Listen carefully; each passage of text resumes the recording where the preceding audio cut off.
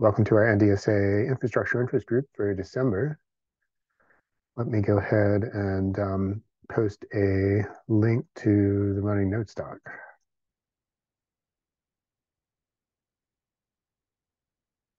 I think we may have a, a couple of other folks joining as well.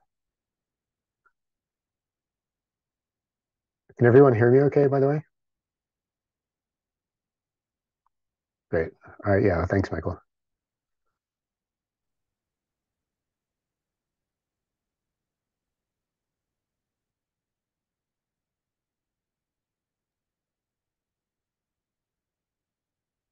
All right. Let's wait another, maybe another minute.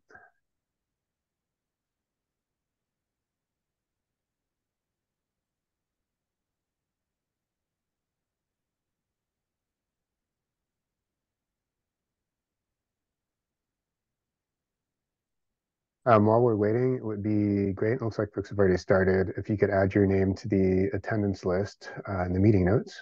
And if there's anyone who's here um, for the first meeting, uh, or this is your initial meeting, if you could put that under, put your name under the new attendees list, that would be wonderful as well.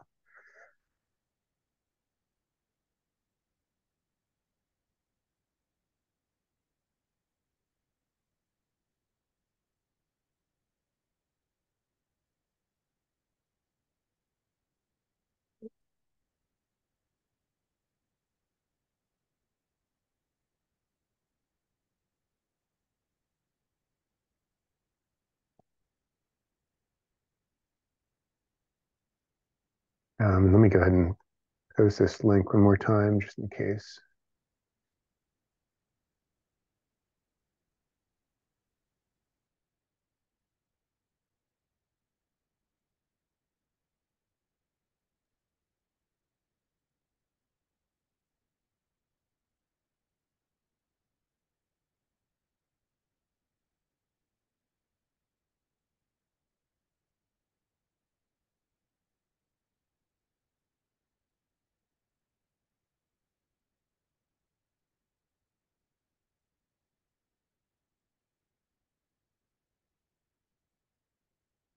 Right, well, we should, um, should probably get started. Um, if if you're open to it, um, if you're here for the first time, uh, be great to hear a quick introduction um, and to introduce yourself to the rest of the the um, group members on the call. Um, Heidi, I don't know if you'd be open to that. Sure. Hi, I'm Heidi Pettit. I'm a librarian and archivist at Loras College in Dubuque, Iowa. Great, welcome. Thank you. Um, Sean or Mike? Sure, I'll Yeah. go. Go Oh, ahead, sorry, Sean. Mike. Go for it. Uh, I'm Sean Rounds. I'm the State Archivist and Director of Library and Archives at the Minnesota Historical Society. Um, I started at MHS back in nineteen ninety-eight as the first electronic records archivist here. And I'm kind of stepping back into the role, um, with the departure of one of my staff members. So I'm, I'm anxious to hear what's new in the field.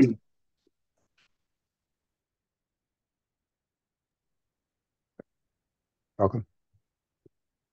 I'm Mike Gates. I'm a digital preservation technical specialist at the Harold B. Lee Library um, at Brigham Young University in Provo, Utah. I just came here a year ago and uh, I just came from about eight years of doing audiovisual uh, digitization. So just learning what I can. Great, great. Thanks for the intro. All right, well, I think as um, as everyone's aware, um, this particular call uh, for the group is an open format call that we we tend to call a, um, a solutions room, and um, that just kind of um, high level terminology just came from uh, the DigiPres conference uh, from NDSA a little while ago, um, where we'd gather to um, see if anybody would like to talk about a particular project that's happening at their organization and um, they're having any challenges with that project or would like some input from other members of the group. We take some time to kind of brainstorm around that or provide feedback um, and get a conversation going that way. Um, in general, uh, you know, we have a few different forms of this meeting. Um, we have invited speakers in the past. Um, we have other folks who volunteered uh, to share information about an ongoing project. Um, and also this particular type of format. And then uh, one other format that we haven't done for a little while that would be interesting to do again is kind of a, a reading group format where we um, flag a couple of different um, studies or articles, uh, publications to review as a group, and we spend, you know, uh, a month or something um, taking a look at that, and then we have an open conversation about it uh, when we get together. Um, so we'll be looking at probably doing that one for one of our meetings next year as well. Um, really quickly, just because we have the dates already for next year, um, I've list, listed them here. And um, so for 2024, the group will be getting together in March, June, September, December. Um, we also, uh, for December, we kind of moved that date in again to December 9th because um, uh, last year, for example, we had a, a, meeting, you know, about a week before Christmas, and it was difficult for folks to attend that, or just there's a lot going on wrapping up for the year. So we decided to bring this meeting in a little bit, um, have it happen earlier. Uh, so we'll do that again next year. Um, let's see. All right. So I'd like to go ahead and, I mean, I brought a couple of topics myself that I'm kind of interested in getting feedback on, but um, I would, I'd like to go ahead and open up the floor and see if anybody has anything in particular they'd like to um, to discuss. And um, I will take some notes, um, but in, um, you know, just a reminder that the meeting is being recorded, so uh, we'll go ahead and post that recording to YouTube a little while after um, the meeting closes out as well. Um, so yeah, um, given that, is anybody interested in talking about particular project or challenge that they're having at their organization?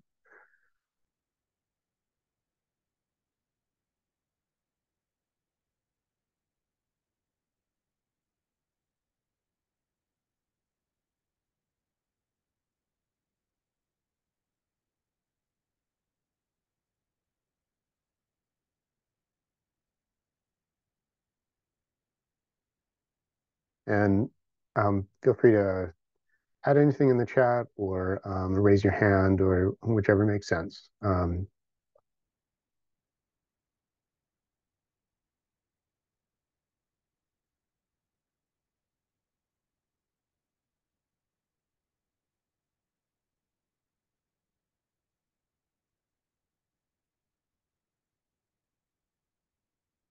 All right, well, I'd be happy to get us started um, with regard to, to something to chat about. Um, and it's definitely been uh, an interesting, kind of the, an interesting part of a project we're working on right now. So um, I'm at the California Digital Library, and our repository Merritt is actually um, a resource that can be used for digital preservation across the UC campuses. Um, the project we've been working on is um, involves a, actually an AWS resource um, that's it's a service that's been available for a while, but it's also based on um, what was openly available before as well, still is called OpenSearch. Um, OpenSearch is actually um, a way to view the results of gathering a whole bunch of system information about your the microservices or your system that's running on an AWS platform. So um, just really, really briefly, the um, the services that we run uh, do run on AWS EC2 instances, and um, there's there are a bunch of them that make up the repositories, the repository as a whole. And we've been logging a lot of information in OpenSearch, um, which has been great. But we also have a separate database that um, that is that gathers information about all the content that's ingested into into the system. And so that database, the inventory database, um, has file path information about every file that goes into the system. It has, um, you know, a it, it keeps track of all of the um, checksum information for all the files, uh, any of the metadata that metadata files that are there, any of the the kind of like object level metadata, it's all there. And um, we have wanted to make use of that somehow in terms of giving our depositors a way to look at the objects in their collection. So um, they can see, for example, well, maybe there's a bit of like object level metadata that's missing in your in, in this object in this collection, but there could be hundreds of objects in that collection. So it's it's not practical to go through there and look at everything manually.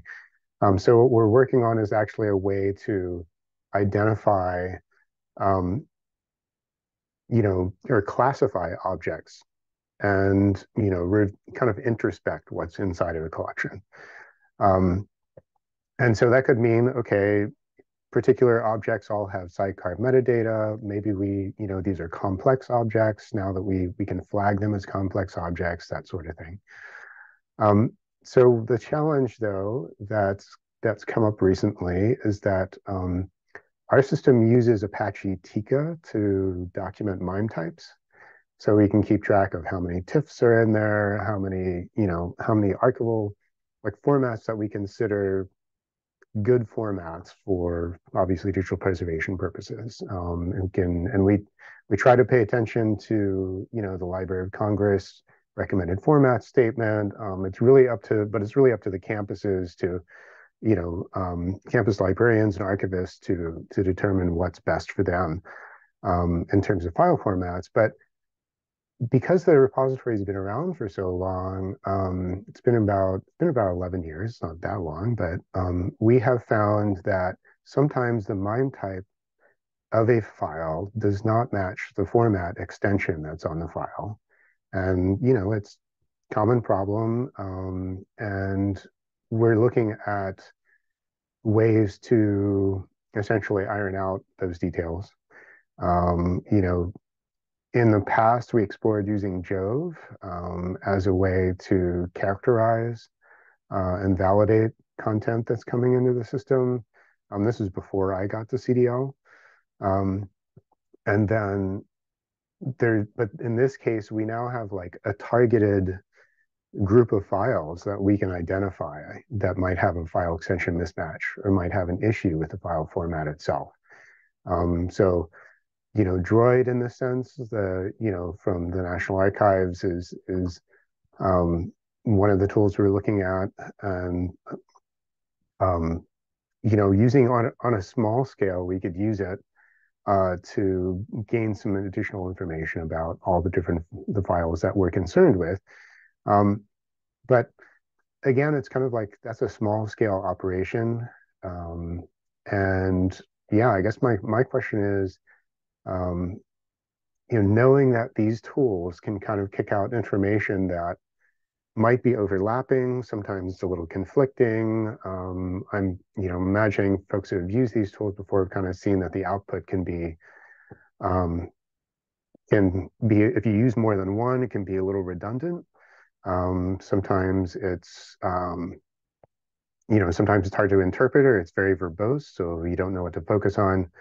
Um, so it's, it's, yeah, it's just one of those things where I'm looking for ideas or tips around, you know, combinations of these tools to use, or if folks have had particular experiences with them, um, especially Droid in this sense, um, and if they've been been very helpful because what happens is MIME types only get you so far.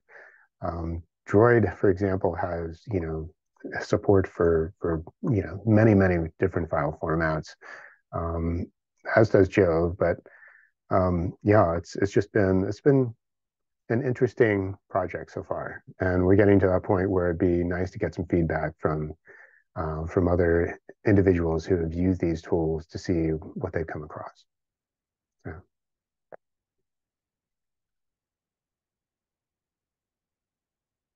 Yeah, Scott? Yeah, so we've uh, implemented FITS as a wrapper uh, around Droid and JHove and Tika and I think there's like seven tools now that are wrapped up in fits. And um, we uh, create basically just a fits metadata XML file that we put next to our objects that we're preserving. And um, yeah, as you noted, um, every tool describes it a bit differently. And every tool thinks that things are are different. Even um, even TIFFs, which you'd think would be fairly straightforward, uh, once you start getting into different flavors of TIFF, like GeoTIFF and I don't know this, that, and the other, we we ended up spending quite a bit of time fine tuning fits to exclude some tools for some kinds of files mm -hmm. and uh, boost the ranking of other tools for other kinds of files. Like EXIF tool, for example, is great on images, not so great on anything else. JHove, as far as I can tell, is pretty awful for almost everything. And, and uh, yeah, Droid, Droid is good. Um, our kind of takeaway that we walked away with is, okay, there is not going to be any consistent, definitive answer about what this thing is. That so we're just going to take the best that we can get and we're going to document it in the XML file. And it's going to be basically descriptive metadata, you know, technical metadata.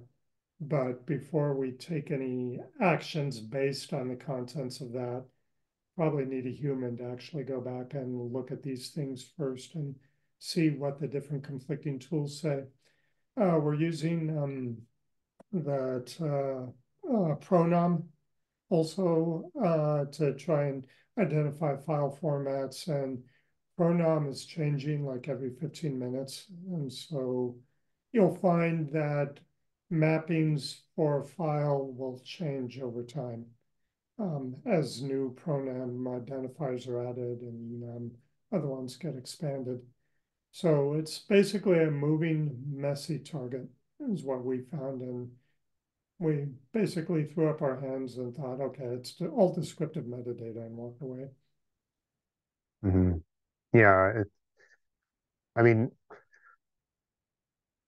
have you found any particular use cases or cases where it's, you know, this process that you've implemented with all the different tools, is it, has it you know surfaced information that's been helpful um, in in particular cases like for or do you do you tend to you run it like on incoming like new incoming content okay just okay. yeah we run it on new incoming content and we've just gone live with our preservation system so we haven't really had a chance to exercise any of this metadata except in terms of like theoretical use cases the um, the main thing that we're looking at is like if we want to do format migrations in the uh, future.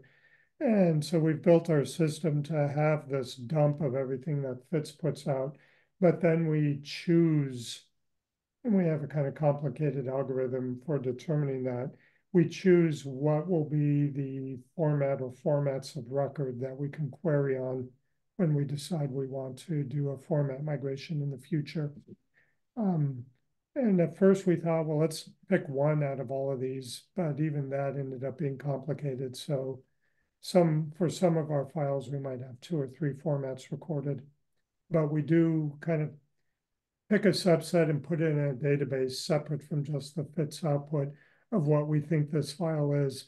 And we also put in a um, a mechanism in our system where we can go ahead and say explicitly the MIME type and the Pronom type that we want to identify this file as, and that will always override whatever whatever a tool says it is in terms of what we want it to be recorded as. Okay. Okay. Yeah. Yeah. That makes sense. Interesting. It's a, yeah, part of part of the the goal that you know we're we're after as well is is to you know in, in, addition to finding these kind of like mismatches or, or files that might have issues is uh, you know is that in the future we'd like to be able to actively communicate to our depositors that you have, you know, particular file format that we might recommend migrating um, within a certain amount of time or something like that. Um, so yeah, it's definitely there's definitely a similar goal there, um, a common goal really. Um, so okay, well yeah, maybe um, maybe I could follow up with you a little bit afterwards um, to see um, just to to get a couple links from you or, or otherwise that'd be that'd be great. Yeah, and I can give you like some uh, sample output that we're putting next to our preservation objects. Okay. Okay. Yeah. Yeah. That'd be great. Thank you. Um, I'm actually going to close a window shade really here because pretty soon I'm going to have a massive amount of sun coming in. I'll be right back.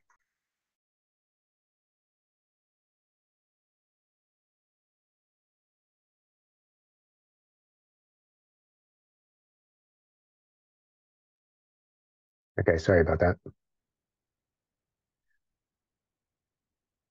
All right, does um does anyone else have um something they'd like to to bring up bring up and get some feedback from? Hey Eric, this is this is Tyler from uh, Brigham Young University. I wanted to just chime in a little bit as well. Um, I've been a pretty big contributor to the Pronom registry for the last few years, and a lot of my work has been because of those mismatches that we find and and outliers that we find that we then try and understand why they're the way they are and then um, contribute back to Pronom so that it is a better identification system for us and for others.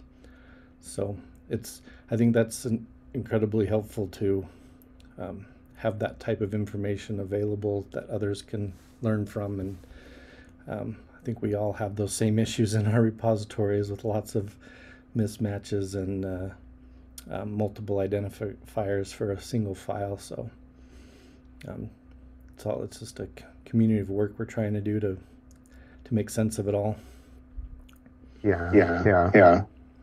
Um, um, is there, is, is there, there, is there an echo going on right now? Is that okay? Let me, okay, let me turn off. Is that is it still there?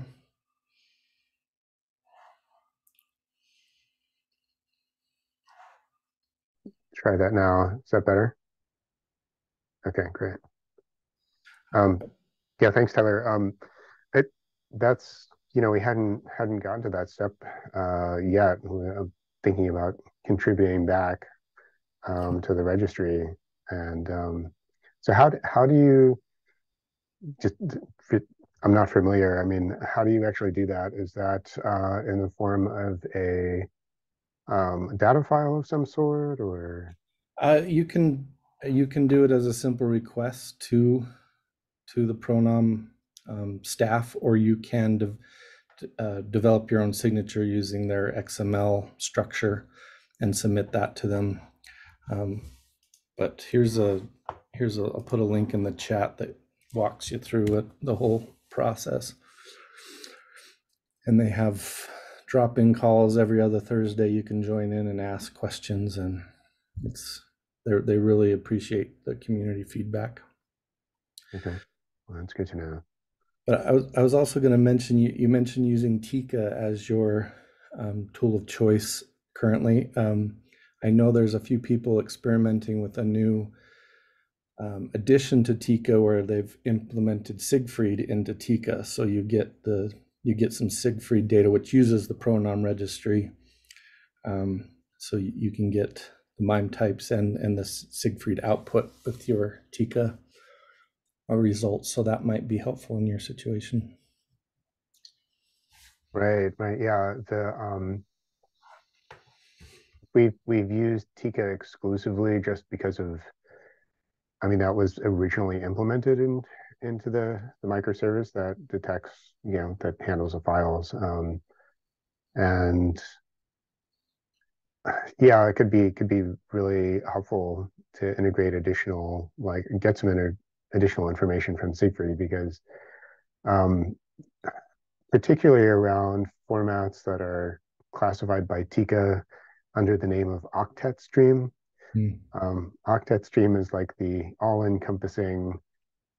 we know about it, but won't tell you anything more on the Tika side. Um, well, I mean, it's it's like one of those. I was actually going to um, find a link from um, a site that's been incredibly helpful um, with formats. Let me see if I can. Here we go. Um, go through. Okay. So this site, uh, they just dropped a link to in the chat. Um, I can pretty much switch over to Tika. There's a Tika choice there, and then the formats. It says 1,500 different formats.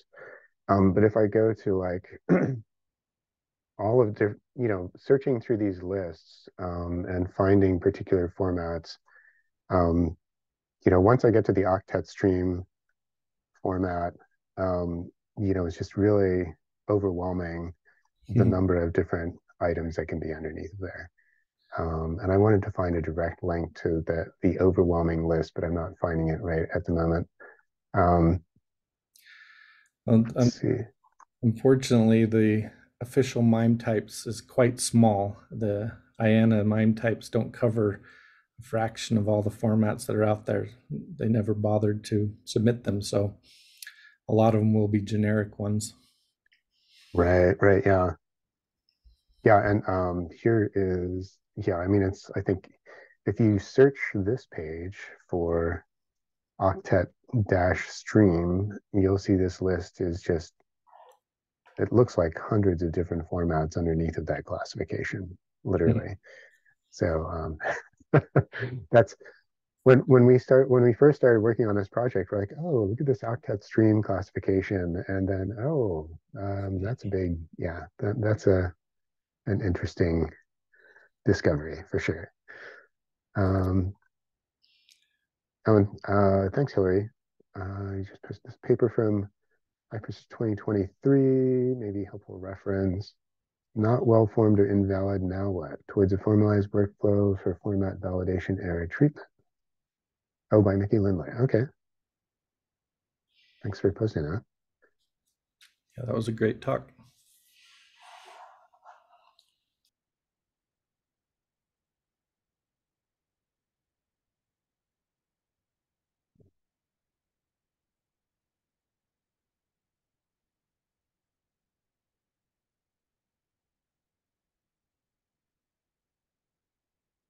This is um this is one of those okay, yeah. Papers like these, we could we could select a few of them and use as, you know, one of our basis for a uh, kind of a reading club meeting approach. Micky uses the same preservation system as us. It's the Ro- Ex Libris Rosetta, which is built around the Pronom database, so or registry. So that's why we focus on it so much. Okay. and it has JHove built in as well. Um, but there's like, like Scott said, lots of problems with with JHove that need fixed.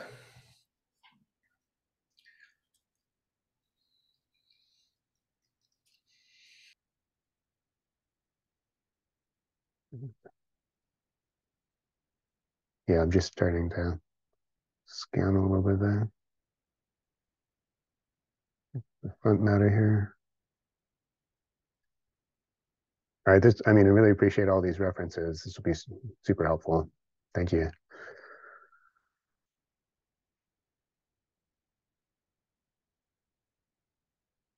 going to be very interesting to to contribute back as well. So should try to find some bandwidth for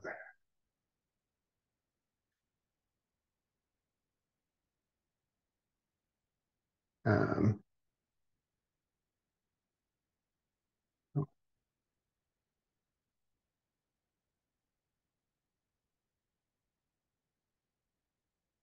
right, um, is there anything else folks want to mention?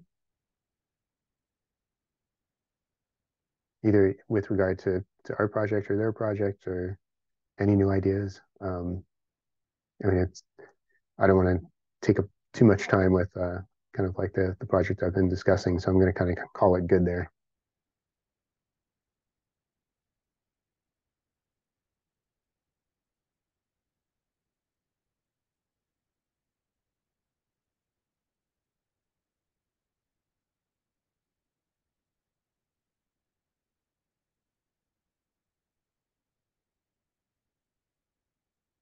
So I, I just um, as an aside, I saw a couple of folks in the chat who said they like the the reading club idea. Um, given we've got um, you know our meeting dates for next year already, um, if you know if people want to keep a, a watch for articles that they think would be very you know would be interesting for the group to review, um, definitely please please reach out to either Robin or myself um, with you know with links to those because what we could do is we could gather a series of them and see who's interested in um, reviewing which ones, and you know, as a group, we'll we'll tackle a couple.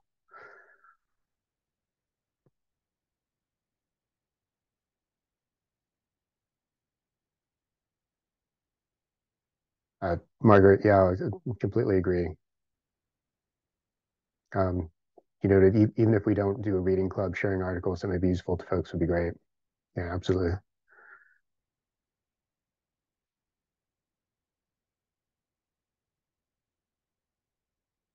Hi, Nicole. Um, yeah, no worries. Thanks for joining. Was that, you know, um, in a similar similar vein, um, so I imagine folks have probably seen the recent announcement uh, from Sibyl Schaefer about the Climate Watch Working Group that NDSA would like to spin up or is spinning up. Um, so they're forming right now, but um, you know, major portion of major task for that group is initially to um, go through and review resources and articles and um, create bibliographies or reference links for anything that they find that they think is um, you know directly applicable to, to, preservation and climate change um, so we could we could definitely have a similar practice here and share articles um, We've done that a little bit, um, but certainly for the last couple times we've done the the reading club or the reading club approach. So um, it was actually, I think those two articles came from um, colleagues at Harvard, were the couple couple of articles that we read, and um, they uh, they have been have been members of this group as well. So I did want to share, Eric, that um, for the number of people that were able to show up for the infrastructure interest group meeting at DigiPres in asking people about the formats, both the invited speaker and the hot topic solution showcase, which would have been like, well, less like the group discussion, which we're having today, which came in third and the reading and discussion came in fourth. But nothing fell under a three. So it seems like the formats for the meeting seem to be working for us. But I think we need to share that with this broader interest group and everybody that's on the list and maybe get uh, more of an impression because they had our interest group meeting in the middle of lunch and a lot of people didn't know that it was going to happen. And so we didn't get very many people. yeah, I think it makes a lot of sense. So we should we should reach back out. Yeah, get some more some input from from folks. Um, we could also we could also distribute like a quick uh, like a doodle poll or something um, mm-hmm. to the group to see what what people think. I was really happy that people participated though. Um, so we got six or seven answers on a couple of the questions. Okay, cool. Hey, um, Hillary, I see you got your hand up. Yeah, I have a um problem that I'm working on. Um, if if you're done talking about meeting styles, Robin. Um, yeah, go for it. So this is super specific, but I'm about to go on an acquisitions trip, um, and the donor is really set on us um, on transferring specific iMessage conversations from their phone to the repository. And I'm curious if anyone has had any experience trying to like harvest specific iMessage threads because the we're not getting the whole iPhone backup. And I've been trying to figure out ways to extract chat files and it's um, incredibly hard to not use a third party tool. So right now I've like purchased iMazing, which is a third party tool that's out of a company in Switzerland that seems to has pretty good like security features. But I'm just wondering if anyone else has come across this. And so your your primary concerns are just the security standpoint um, to make to make sure that what you're gaining from that phone or or that yeah what you're obtaining is not accidentally um, no, actually, it's just like how to get the iMessages out of the phone because we've like backed up. I've tested like, what if we backed up the whole iPhone, right? If you look at the backup files for an iPhone on a Mac, they're like purposely not human readable. It's like a crazy checksum listing of like right. every alphabet possible. Um, and then if you go into like the message app on a Mac, like you know, you can message on your phone and also on your computer um, that if you wanted to export the whole thread, you would have to manually scroll to the very beginning of the chat and then export it as a PDF, but that doesn't guarantee that you would get the attachments. Interesting. but Paul, you've said something in the chat. You used a tool for GitHub for this. Was the tool able to extract specific iMessage conversations? Cool. Thank you.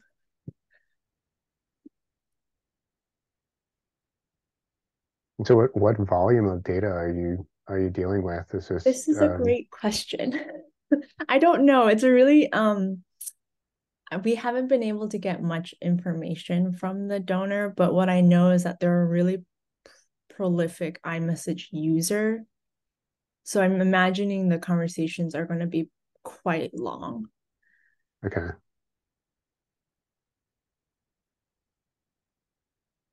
And then um, Tyler just posted a link as well.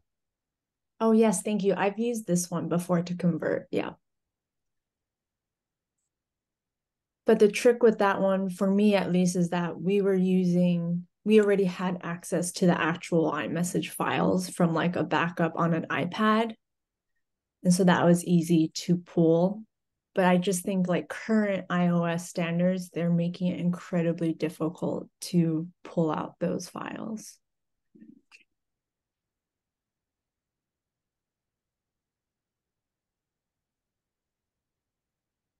Yeah, Paul mentioned the tool he was using is called iMessage Exporter.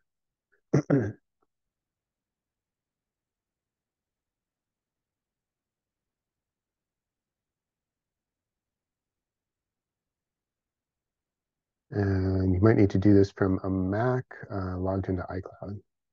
Does iMessage Exporter, um, is that also a tool that you've seen, um, Hillary? Yes, I have. Um, but I was unsure how to actually run that against like an iPhone backup. But that makes sense to be logged into the iCloud.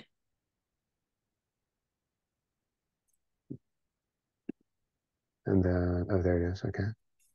Yeah, thanks for the link, Tyler. And thanks for the, the reference, Paul. Yeah, I'll take a look at that again. Thank you.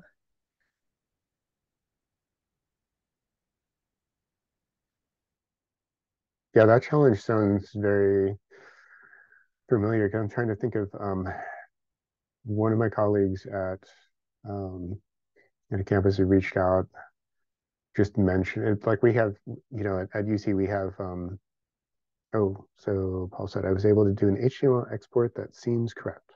Okay, that's good to hear.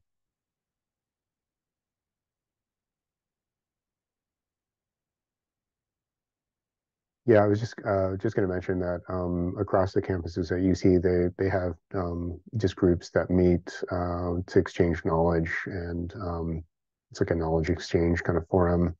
And this same topic came up not so long ago. It feels like.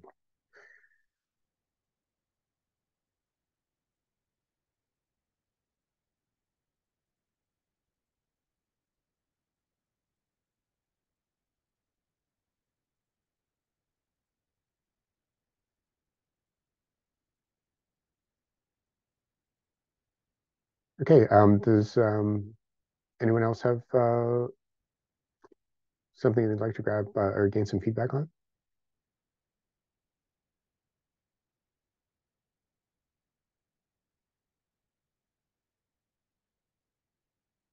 I'll throw one out there. Um, so we currently in the libraries are hosting the hardware for a preservation system.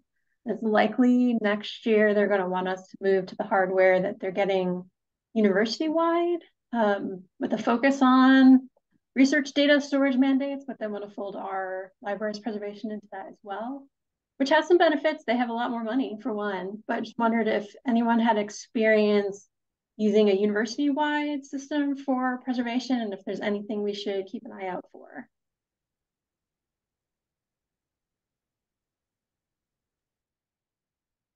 I would just say that it's been very difficult to get central IT to understand the difference between backup copies and preservation and archiving. So um, I think that would be the only thing is not allowing them just to take the stuff and tell you that they're taking care of it, but to be involved in the discussion.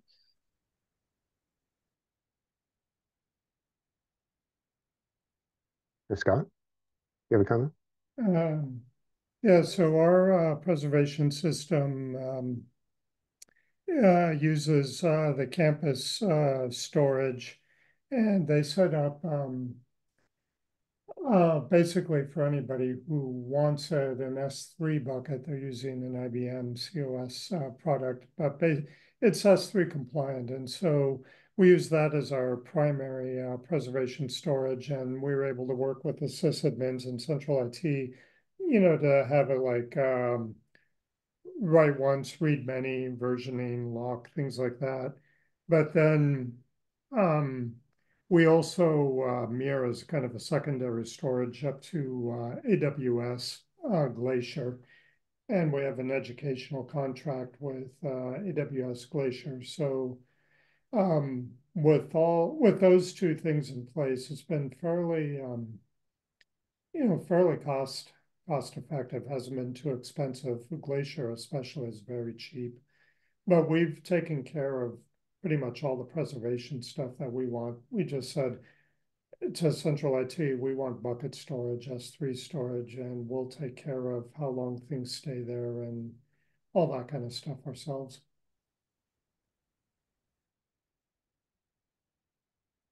Thanks, Scott. Yeah, and I, I would also um, mention that um, as kind of an intermediate space um, to work to stage files, um, and to you know work with with individuals who need to send us files. Um, we've been using, in addition to S3 buckets as a place for storage or you know a similar kind of um, setup at, at, other service providers, um, we use ZFS. Um, so it is the reason I mention it is because you can log on to you know an AWS server like an EC2 instance, and it can have the ZFS storage attached to it, and it it works you know like any other Linux command line kind of environment. It's a little easier to use that way versus S3 where there's you know a um, a specific command line utility, and you know there's a, a all different a completely different API. Um, so from the stand, just from the standpoint of having a temporary area to work with files, um, ZFS storage has been useful to us too, like before we actually put something into to S3 or Glacier.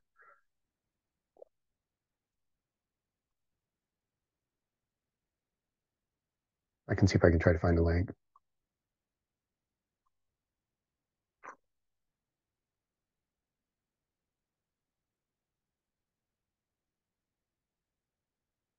Right? Um, lessons.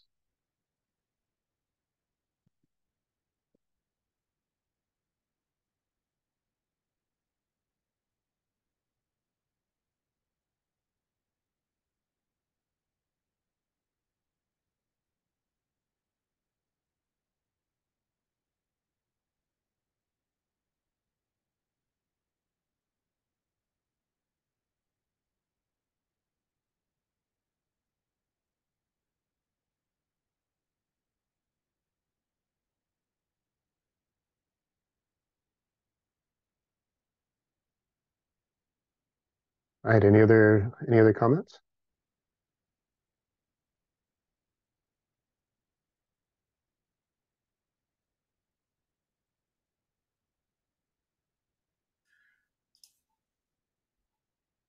I just had one little pitfall that to mention. We we uh, have our library IT, which uses our university storage locations for a lot of our preservation um, storage, and because of a misunderstanding between preservation and and uh, general IT storage, they uh, for a while kept our file streams separate from our metadata, and we they had a storage migration and ended up losing some of the metadata so the file streams were kind of orphaned. So just a little pitfall if you're working with IT let them know how you want um, things backed up and where things are stored and keeping things together so that your your AIPs are con- contained as one object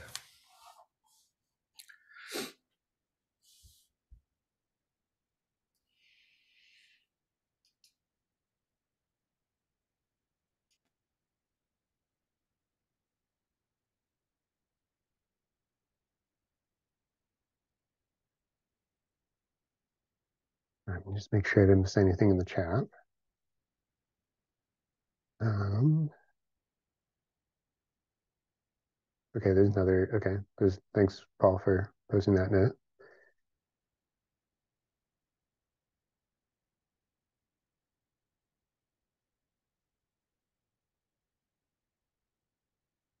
All right, um, let's see.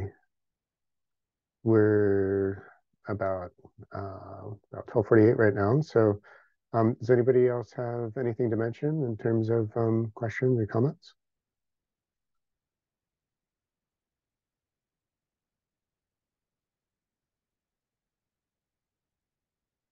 Um, Robin, did you want to mention anything else?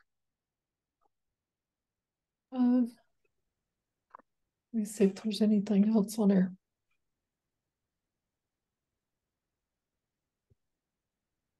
I don't think there's anything else in terms of the interest group meeting to share, so Okay. Um, hope everybody has a nice holiday. yeah, yeah, definitely. Hope everyone has a nice holiday um, and get some some uh, downtime in to relax. Um, there's, I think the other, the only other thing that comes to mind is that um, we tend to distribute a um, a link to gather topics ideas as well. Um, so we've had topics polls in the past. Um, I think we will be doing that again. So uh, Robin and I will send out a link to that um, in December, and then we'll have you know a bunch of time uh, to gather topics as well as um, you know again sharing articles sounds like a, a great idea um, to do regularly. So, um, but yeah, please uh, keep an eye out for that email um, with our topics poll. And if you all have um, particular topics you'd like to see covered in 2024, we'll um, see if we can focus on those. So